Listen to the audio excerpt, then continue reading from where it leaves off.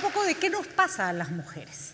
Porque lo cierto es que, por ejemplo, los partidos políticos señalan, y no sin, sin, razón, que cuando tienen que cumplir con una cuota, a veces les cuesta mucho trabajo encontrar mujeres que se quieran animar a hacer política. Entonces uno puede decir, bueno, eso es una excusa. No sé, acá hay mucha gente que estaría interesada y de verdad las felicito y felicito a todas las mujeres que han, que han incursionado en ese, en ese espacio. Pero vamos, que da miedo, ¿no? Da miedo, da flojera tener que estar todo el día atacada y lo que decía Selena, volverte mujer pública es realmente un reto demasiado grande que tiene que cambiar en el ámbito de lo femenino, de las propias mujeres, para atrevernos a acceder a un espacio que se nos niega, pero que nos autonegamos también. Bien, nos eh, paralizamos o nos, eh, nosotras mismas, porque tenemos eh, unos roles adquiridos de que tenemos que ser las cuidadoras, de que tenemos que además eh, cuidar de los niños, luego de los suegros, el tema de los tiempos, el tema de los espacios. En muchas situaciones de una situación económica en la que la mayoría de las ocasiones las mujeres se quedan trabajando en el hogar y entonces no tienen una autonomía económica para poder participar en política. Yo creo, no estoy tanto de acuerdo en que nosotras nos auto eh, porque se ha visto aquí claramente, o sea, cuando has hecho la pregunta, o sea, no ha habido ningún problema en levantar la mano y, decir que un montón de mujeres que están aquí hoy eh, que querían y quieren ejercer la política. El problema son los partidos políticos.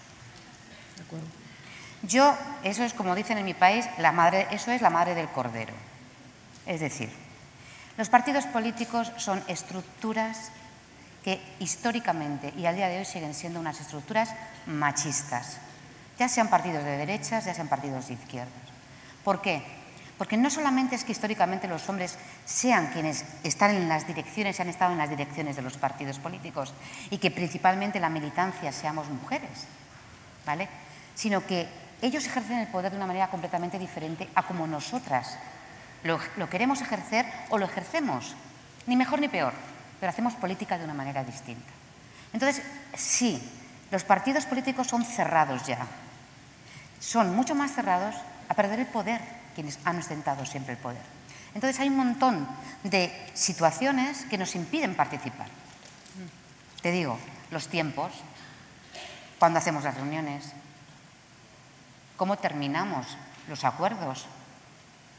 Por ejemplo, en mi país es, y sigue siendo muy habitual, tener una reunión a las 7 de la tarde, que es cuando las madres, eh, nosotras que todavía, por mucho que hayan cambiado las cosas, tenemos que conciliar igual que los hombres, ¿vale? Terminan las negociaciones tomando un vino en el bar. Estamos excluidas de las tomas de decisiones. Por eso las mujeres nos cuesta llegar, nos cuesta mantenernos y por eso nos acabamos marchando. Porque esa es una cuestión que también hay que poner encima de la mesa. Nos acabamos marchando porque nosotras entendemos que la política no es muchas veces lo que realmente y desgraciadamente es la política dentro de nuestros propios partidos políticos. Y ahí le hago la pregunta a Ana Jaras como política. ¿Hay algo que es un hecho internacional, mundial, los partidos políticos como instituciones tal cual están hechas ya no, ya no son un pilar importante o eh, en el que los jóvenes se sienten reflejados. Cada vez hay más crisis de partidos políticos a nivel mundial y creo que tiene que ver con estas estructuras tan verticales y tan a la antigua. ¿no?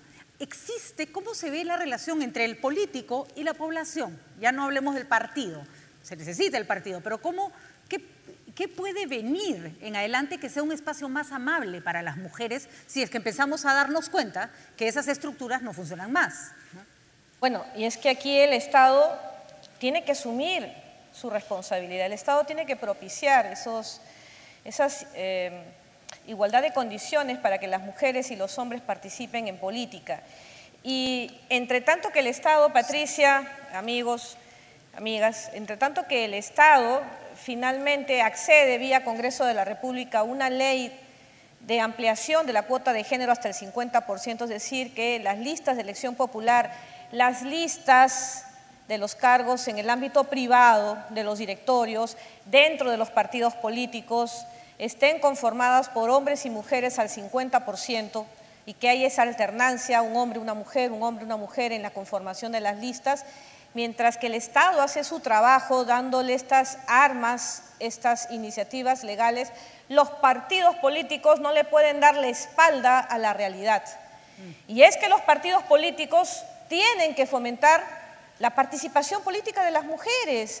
A nosotras nos tienen que seducir en el mejor sentido de la palabra, nos tienen que motivar, nos tienen que incentivar a participar y a postular a cargos de elección popular, nos tienen que decir hasta dónde alcanzan nuestros derechos civiles, tiene que insertarse esta mm, condición de la capacitación, preparar a la mujer para acceder a estos cargos. Y si acaso ya fuese, por ejemplo, una congresista, pues talleres como yo los he tenido al partido al que pertenezco, que es el Partido Nacionalista, de técnica legislativa. Es el partido político que tiene que promover la vida activa de las mujeres desde las bases, no ponerse de costado. Ya sabemos por Elena y por otras, este, otros testimonios que ellos se reservan para los hombres los cargos dentro de las organizaciones políticas, porque no todos son partidos, hay eh, movimientos vecinales, regionales, y a la mujer solamente nos tienen ahí de relleno. Pero ellos nos tienen que incentivar y por otro lado también el Estado nos tiene que dar las armas para competir en igualdad de condiciones. Acá en el Perú, lamentablemente, todavía sigue funcionando el caudillismo. Vamos en pos de una persona y la institucionalidad de los partidos políticos lamentablemente no está funcionando. En la medida que la mujer sepa el alcance de sus derechos civiles, sea motivada en un cargo en la que tenga la expectativa de ganar, no ser cola de león, sino cabeza de ratón, como bien lo decía la representante de la Defensoría del Pueblo, yo, yo lo he visto en provincia, hacíamos la, elaboración de las listas, nosotros fieles, fieles a lo que es la cuota eh, de género hasta ahora al 30%, aspiramos al 50%, elaborábamos las listas conformadas por hombres o mujeres hasta cubrir el 30%, de titulares y de accesitarios, pero veíamos que las otras organizaciones políticas ponían de titulares a todos los hombres y a las mujeres de accesitarios. Justamente sobre eso, Ana. Y por eso se requiere una modificación de la legislación. Se nos está acabando el tiempo, así que pido que sean breves en estas últimas este, participaciones. Me encantaría que hablar toda la tarde con ustedes. Eh, ¿Cómo hacemos para que la mujer no sea el relleno? Eh, se entiende la cuota de género como, ay, les estamos dando a las mujeres un espacio que no han podido conseguir solas, cuando en realidad nos están dando un espacio que nos han venido negando, ¿no? Eh, es, hay que voltear un poco la cabeza de la gente, pero ¿cómo hacer para que la mujer no participe simplemente porque eso hay que completar con la, la cuota de género? Bueno, yo creo que es importante señalar que la cuota de género es una acción afirmativa contraria a la igualdad que genera una condición para que las mujeres puedan, participar. Y esto es importante señalar porque ahí está la esencia de que no somos relleno, de que estamos logrando una igualdad esencial que nos está negada históricamente. Entonces, siendo eso así, ¿qué pasa? En las elecciones internas, al fragor de los partidos, movimientos políticos, tiene que haber una mayor actividad de las mujeres. Nosotros hemos hecho una supervisión en las últimas elecciones del 2018 y, por ejemplo, hemos visto que del total de personeras de partidos que han participado a nivel nacional, el 73% de mujeres han ido a cubrir, el, cautelar el voto con menores de edad, con sus hijos. Entonces, la mujer necesita condiciones especiales para el ejercicio de la acción política. Se necesita escuelas de formación, pero también que el Ejecutivo, que hayan políticas públicas que promuevan esa participación y que generen las condiciones para que el sistema político pueda cambiar y que las mujeres estemos cada vez mejor y mayor representadas. No sé a ustedes si no les impresiona cuando se critica a una parlamentaria que va y cambia los pañales de su hijo en el Parlamento y ¡ay, qué horror! ¿Y qué va a hacer?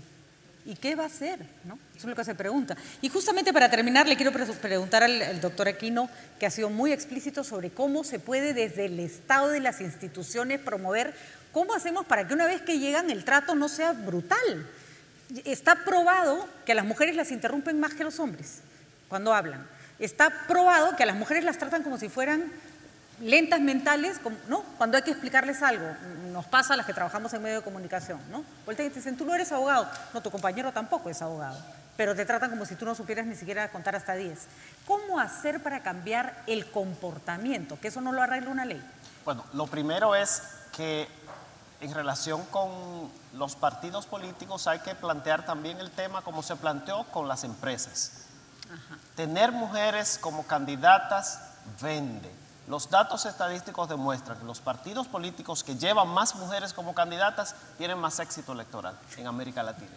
Aunque sea por el marketing nos tienen que dar. Bueno, no está mal. Al final es llegar al poder. Claro, Entonces, los padrones electorales en América Latina son cada vez más femeninos. Es decir, ahí se incrementa el número de mujeres en relación con los hombres. La participación política de las mujeres también se está incrementando al momento de votar y en el activismo político. ¿Dónde se encuentra el gran sesgo? Al momento de llegar a posiciones de poder. Evidentemente, una vez ya la mujer está en posiciones de poder, corresponde en primer lugar al Estado cumplir con la responsabilidad de que se le otorgue el respeto y el trato, el respeto y el trato apropiado. Es un tema de cultura política, como bien tú lo dices, y ahí el tema de los medios de comunicación es esencial. Y en el caso mismo de Perú, eh, yo he visto estudios muy interesantes, por ejemplo, vi un, estudio de Beatriz Llano sobre el tema de cómo los medios de comunicación tratan de manera diferente a las mujeres que los hombres en campañas electorales. Entonces ahí viene una primera responsabilidad, porque hoy no solamente desde la educación formal se moldea la cultura, sino también el papel de los medios de comunicación es clave. Muy bien, clarísimo. Entonces creo que nada, un aplauso para esta mesa que ha estado sumamente interesante.